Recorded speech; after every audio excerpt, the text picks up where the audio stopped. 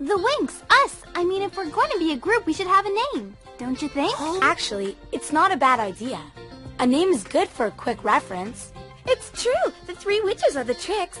And we could be called something like the Super Five, uh, the Stella Five. Oh, I've got it. The Airy Fairies. The, the what?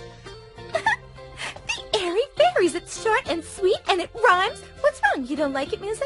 Nah, sounds terrible. For Winx. Me too. Perfect. Yes, but, uh, what does Winx mean? Uh, nothing, just Winx.